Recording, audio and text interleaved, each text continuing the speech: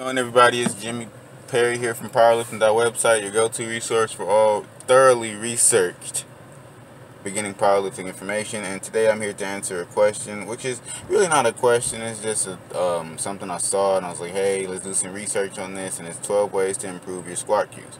Now fair warning I am not the person who wrote this um, someone else did research on this and I thought the research was pretty thorough. So I'm like, hey, let's put this on here. But if you find any misinformation, because even though I go over it, I'm still open to suggestions. I'm a guy, but I mean, I have a lot of pride or whatever. But I still think that, um, you know, if you find something that could be improved, why not improve it? And the best way to do that is to take criticism from the people who are actually um, taking in the information and the content. So, yeah.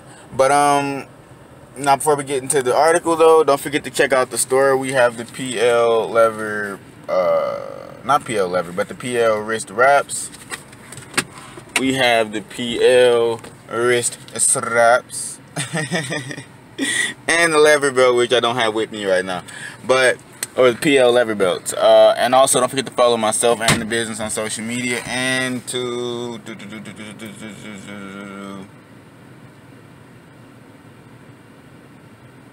check out the post. This the link to this uh, article will be in the description of the video. Uh, now first things first I kind of went over it and I'm just going to tell you to give you a brief overview of this. I wish I had the person here who actually typed this so they could give you the brief overview and I actually gonna I'm gonna do that. Not for this but just that's an idea. Um, I got a little whiteboard here. I got a couple of them but I use these for like ideas I have on the fly. It's better for me to visualize stuff so I can uh, get people. This is a sharpie, so I'm gonna wait. I'm actually gonna. But um, yeah, sorry about that. I had to write that write that down. But yeah, so I'm gonna just briefly go over it. First things first, dude gave uh it's a dude who wrote this. He gave six tips on how um six tips on how to um improve six cues you should go for when you're squatting. First one is grip the floor. Second, show keep your shoulder blades tight, pushed back and down. So I think the same thing same way with the bench press. Uh next one is sit back, so you're not really leaning on your knees, you're sitting your ass back. And then next one, breathe into the belly. Breathe into the belly kind of goes first because you brace before you actually squat. I mean, I don't think you put these in order. Next one, keep your chest up. Next one, push the knees out. Um, that's another thing for me. Now, this is why I said the huge thing for me was, and I thought this for a long ass time. You know, your knees are not supposed to go forward whatsoever. That's a fucking lie.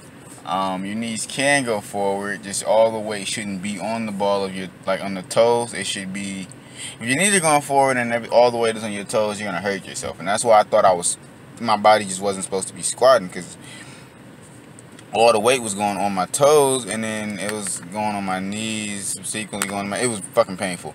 But I figured that out and I stopped doing that. Uh, grip the floor. Dude gave one tip. He said with your, I'm just gonna go over one tip. I think he gives two for each one. But with your shoes and socks removed, Squat 90 degrees away from any walls or obstruction as you're in this position. Imagine pressing your feet into the mud. This is actually pretty helpful when you're squatting because when I uh, actually press the weight up, it's a press. So when you actually press the weight up, you are digging your feet into the ground. So that makes complete sense. And then you want to, he said, as you do this, you should feel the bottom of your foot shift slightly until it is in full contact with the floor. Uh, his foot is already in full contact with the floor. But that's besides the point. Um, and then he says hold the position for five seconds. Repeat this ten times. I guess it's gonna help you get your body used to that mo that motion or the, to that feeling. Uh, next one, keep your shoulder blades tight. Um, I guess this, this is all about bar position on your shoulders. Another thing for me, which is another reason why I thought this was a good article. Um, first tip for this one is load an empty barbell into your traps, which is I think that's low bar traps or low.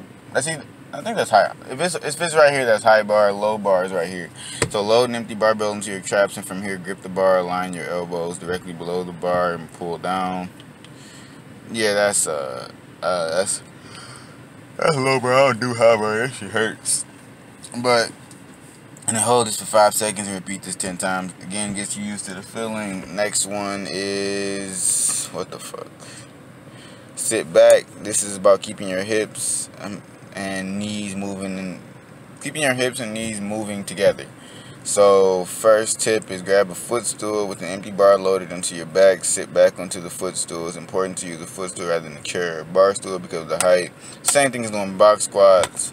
Um, it gets you used to sitting back. I understood this one. Now the focus on this is on hinging at the hips and sitting down on the stool instead of like kind of bending your knees. Hinging at the hips is bending at the waist instead of bending at the knee. And then you want to repeat this five or ten times. Sorry. I don't know where you got these numbers from, but uh, it's probably useful. I, yeah. Next one, breathe into the belly. This is about bracing your core. Again, put the barbell onto your traps, pull the barbell down, and squat into the bottom position. While in this position, arch your lower back slightly and breathe into your belly. Now, I don't agree with this one because you want to brace at you want to brace before you squat. So no. I mean, he's saying breathe as you squat downward or squat the weight. I don't completely agree with that. I mean, you can breathe out as you press up, but when you're going down, you should already have that breath into your belly and tight abs. Fucking lie. Anybody saying hold this for 10 seconds and repeat five times? I shouldn't call this dude a liar I put his content on my website, but yeah. Next one, keep your chest up. Basically, it's to get your hips and torso to drive upward at the same time. Tip for this one is load an empty barbell into your traps and squat into the bottom position from here. Put puff off, puff your chest and push it out.